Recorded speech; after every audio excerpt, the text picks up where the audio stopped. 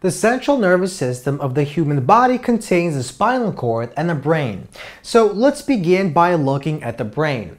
So let's suppose we look at the side view of the brain and we take a cross section so that we obtain the following diagram. So this is the cross sectional view of the side of our brain.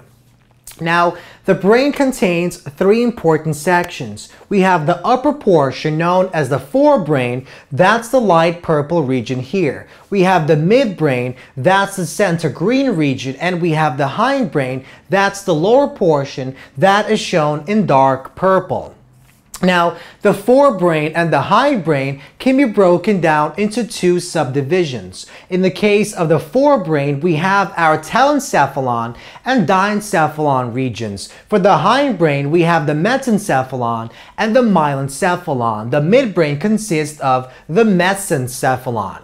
Now, the telencephalon contains three important structures. We have the cerebrum, which is this entire structure here. We have our hippocampus, this section here, and we also have the basal ganglia. The diencephalon contains the thalamus and the hypothalamus, this in this section, while the midbrain is this green section here. Now, the, uh, the hindbrain contains the metencephalon that has the cerebellum and the pons, while the melencephalon contain, the myelencephalon consists of our medulla. So let's go through each one of these structures and discuss what the function of these structures is. And let's begin with the telencephalon region of the forebrain. So that contains the cerebrum, the hippocampus, and the basal ganglia. Now, the basal ganglia is simply a collection of cells found at the bottom of the forebrain. So basal means to be at the bottom of, to be at the base. Ganglia means a collection of cells, a collection of neurons. So a gang of cells. And so basal ganglia is a collection of cells at the bottom of the forebrain. And the role that the basal ganglia plays is to control our voluntary actions, our voluntary movements. Now, the hippocampus is a structure, it's this structure here that plays a role in the limbic system of our body. And the hippocampus plays a role in memory. Now, what about our cerebrum? Well, the cerebrum is the structure, the forebrain, that basically makes us human. It gives us the ability to think, it gives us the ability to reason, it gives us logic and intuition. It also gives us the ability to control our emotion and feelings and, and to control our voluntary action. Now, the cerebrum is a pretty large structure. It takes up this entire region here. And the cerebrum consists of the left and the right cerebral hemisphere. So the left and the right hemispheres inside the cerebrum are connected by a bridge. And this bridge of cells is known as the corpus callosum.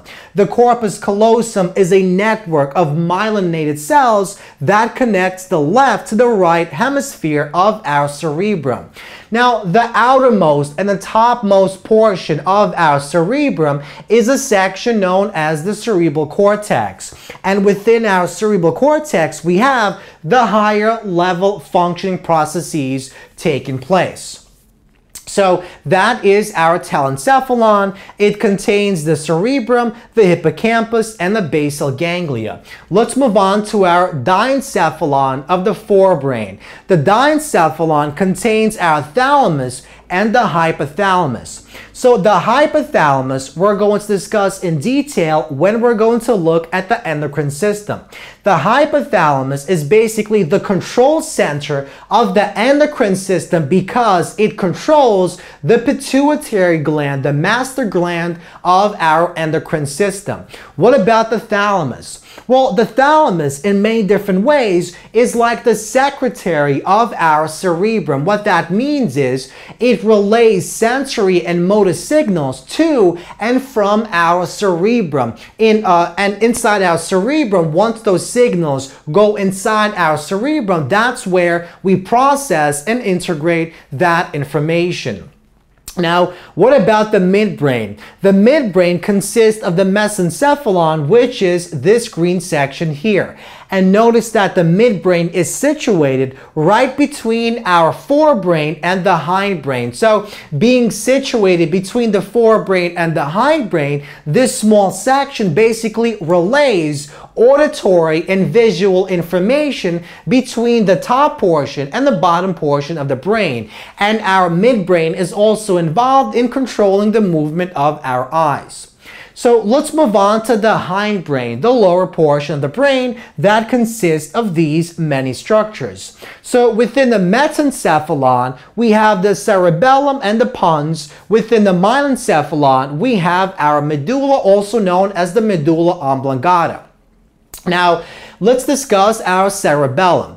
The cerebellum, because it looks like a little brain, sometimes we call the cerebellum the little brain. So notice that we have the same infolds on the cerebellum that we have on the cerebrum of our forebrain. Now, the cerebellum's function is to basically control and coordinate the movement of our muscles. And although the cerebellum cannot actually initiate the movement of our muscles, it does coordinate the movement and precision timing of our muscles, our voluntary motions. Now, alcohol affects this part of the brain. So when we drink alcohol, that affects the regulation and control of our cerebellum. And that's exactly why if we drink too much, we end up stumbling and our coordination is not as good as it is when we're sober because alcohol affects the functionality of our cerebellum. Now, what about our myelencephalon? So the myelencephalon contains our medulla, also known as the medulla oblongata. And what our medulla actually does is it controls things like breathing. It controls our ventilation rate, our respiratory rate. It controls our heart rate as well as blood pressure and other automatic or involuntary motion. For example, it controls vomiting. So we have the forebrain, we have the midbrain, and we have the hindbrain. Now let's discuss our spinal cord. Now the spinal cord basically is found below the medulla and it, and it extends all the way down our body into the lower back of our body.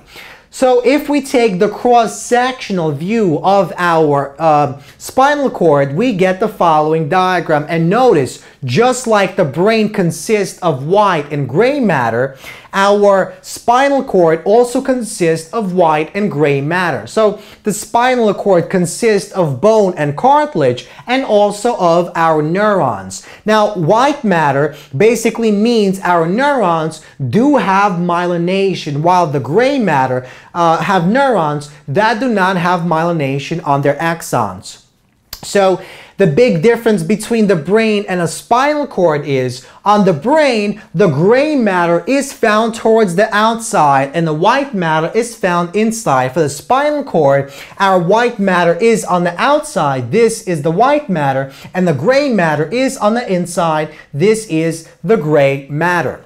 So the spinal cord can also be broken down into four regions. We have the cervical region, the topmost portion. We have the thoracic region. Then we have our uh, lumbar region. And then we have our sacral region. So the spinal cord is broken down into four segments, cervical, thoracic, lumbar, and sacral. Now, the role of the spinal cord is basically to accept electrical signals from the peripheral system and send those signals to the brain as well as vice versa to receive the electrical signals from the brain and to send them out to different types of organs and tissues and muscles found inside our body.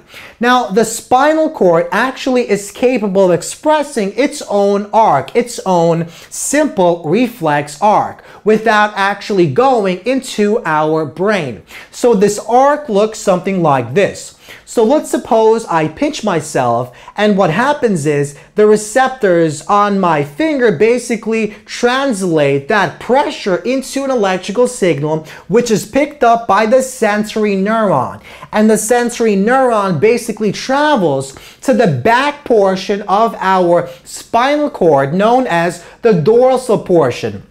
So this is the sensory neuron. It picks up that electrical signal and gives that electrical signal to an interneuron that is shown in brown, found in the gray matter of our spinal cord. And then that interneuron, without actually translating that information to the brain, relaying that information to the brain, basically gives it right back to the motor neuron that travels away from the front portion of our uh, spinal cord known as the ventral side and back to our finger, my finger so that I remove my hand really quickly. So this is known as the simple reflex arc. So once again, the sensory neurons traveling into our spinal cord always travel or enter from the back side, the dorsal side, and the ganglia, the neurons of the peripheral nervous system next to our spinal cord is known as the dorsal root ganglia. So the sensory neurons enter from the back and the motor neurons exit from the front, which is known as the ventral side. So the spinal cord is basically involved with not only integrating the information, but it's also involved in accepting and sending information out to different parts of the body. So the spinal cord and the brain make up the central nervous system of the body.